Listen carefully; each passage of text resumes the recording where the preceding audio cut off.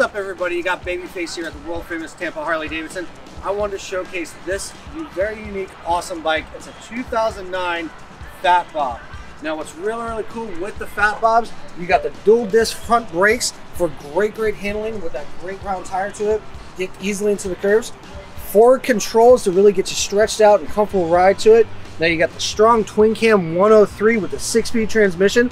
So you got a lot of power, a lot of easy ride, and this Thunderheader exhaust gets you that awesome sound to it.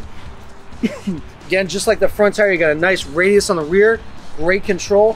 What a great upgrade on this one, you got the smoked out LED rear tail light. So it's sleek, clean look to it.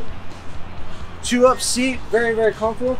And right here, guys, you got an old throwback emblem to it. You don't really see these too much on this bike, but you got a nice homage to the classic gears. So you got a little over 16,000 miles on this bike.